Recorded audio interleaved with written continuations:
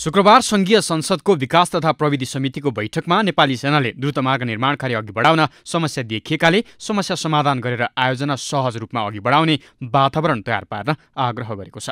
मुगमतीवासीले फर्सी प्रस्थान बिन्दु बनाउने सहमति कार्यान्वयन गर्न दबाव दिइरहेका बेला नेपाली सेनाले भने खोकना नै उपयुक्त हुने निष्कर्ष संसदीय समितिमा सुनाएको हो। किनभने यो खोलाको किनारे किनारे जान्छ। जाँदाखेरि यसले चाहिँ तिन पर्सेन्टभन्दा तलबाट टोटल चाहिँ सिक्सटिन स्क्वायर किलोमिटरको थ्री पर्सेन्ट ल्यान्ड मात्रै त्योभन्दा तल फास्ट्यागले अकुपाई गर्ने खोकानालाई प्रस्थान बिन्दु बनाउँदा स्थानीयको जग्गा धेरै नपर्ने दावी पनि गरिएको छ। द्रुतमार्ग एसियाली विकास बैङ्कको डिजाइन अनुसार अघि बढाइएको सेनाको दावी छ। द्रुतमार्गका लागि उनान्सयवटा पुल आवश्यक पर्ने पनि जनाइएको छ। नेपाली सेनाले द्रुतमार्गको कामलाई अघि बढाउन सेनालाई आवश्यक सेवा र सुविधा उपलब्ध गराउन पनि सरकारसँग माग गरेको छ। मोस्ट इकोनोमिकली भाइबल छ फाइनेन्सियली इकोनोमिकली भाइबल छ। किनभने यसको ट्राभल टाइम भनेको साढे छोटो समयमा राजधानीबाट कराइदिन सकिन्छ।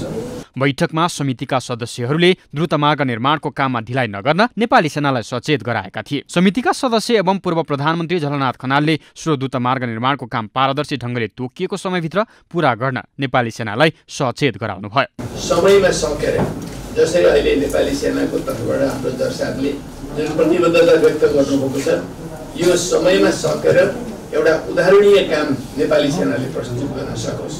समिति सदस्य टोपबहादुर रायमाझीले द्रुतमार्गको पुल टनेल र ढलको काम एकसाथ अघि बढाउन नेपाली सेनाको गम्भीर ध्यान आकर्षण गराउनुभयो। नेता रायमाझीले द्रुतमार्ग ढिलाइ नहोस् भन्नेमा सचेत रहनुपर्ने आवश्यकता पनि औल्याउनुभयो। ब्रिज र टनेलको कुरामा पनि गरेर सँगसँगै कामहरू पिस पिसमा टेन्डरहरू जस्तो कि सडकको टेन्डर भयो त्यसको कटिङको टेन्डर भयो पिचको टेन्डर भयो टर्निङको टेन्डर भयो त्यसपछि यो ब्रिजको टर्न टेन्डर भयो यी सबै किसिमको कामहरू एकैचोटि हामीले सुरु गर्नुपर्ने हुन्छ।